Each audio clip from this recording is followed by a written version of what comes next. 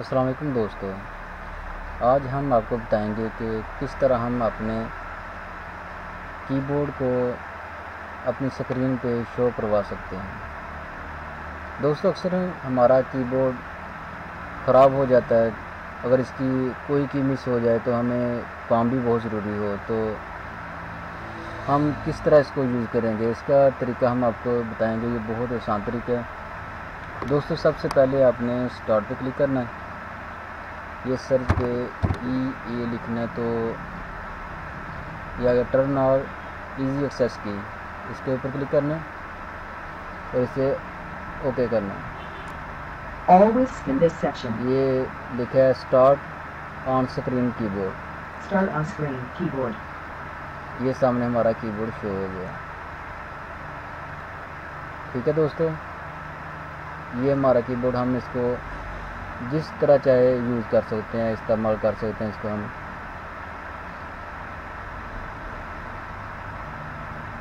اس کو ہم چاہتے ہیں یہ ٹاسک بار ٹاسک بار پر ہمارے پاس محفوظ رہے تو اس سے، اس کے اوپر کلک کرنا۔ ہے اور اس کو، یہ میں نے پہلے شو کروایا ہے، اس کو آن پن کیا ہے۔ تو پن دس پروگرام آن ٹاسک بار اس کے اوپر کلک کریں گے تو جب اس کو ہم یہ ختم ہو گیا، دوبارہ استعمال کرنے کے لیے ہم یہاں پر کلک کریں گے تو یہ شو ہو جائے گا۔ ٹھیک ہے دوستو؟ یہ بالکل آسان طریقہ ہے۔ اکثر دوست مجھے یہ سوال کرتے تھے کہ یار مجھے طریقہ بتاؤ کہ کس طرح ہم اسے یوز کر سکتے ہیں۔ تو یہ بالکل آسان طریقہ ہے۔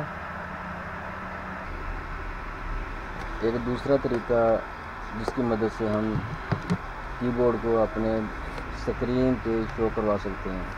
دوستو، یہ بھی ایک انتہائی آسان طریقہ ہے۔ اس کے لیے سب سے پہلے ٹاسک بار پہ ہم کلک کریں گے۔ یہ ٹول بار پہ آئیں گے تو سیڈ پہ ہمارا ڈائلاگ باکس شو ہو جائے گا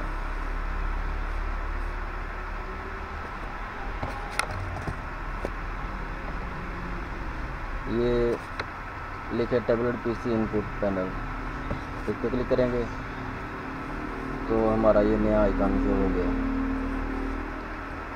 اس کے اوپر ہم ڈبل کلک کر کے اس کو اوپن کریں گے تو یہ کی بورڈ ہمارا آن ہو جائے گا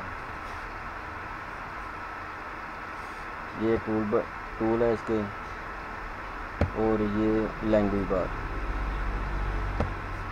یہ ہمارا انگلش میں ہو گیا ٹھیک ہے دوستو، یہ بھی بالکل ایک آسان طریقہ ہے، اس کی مدد سے ہم اپنا کی بورڈ سکرین پہ شو کروا سکتے ہیں۔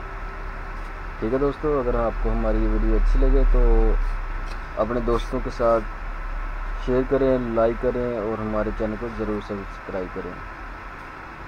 ٹھیک ہے دوستو، اللہ حافظ۔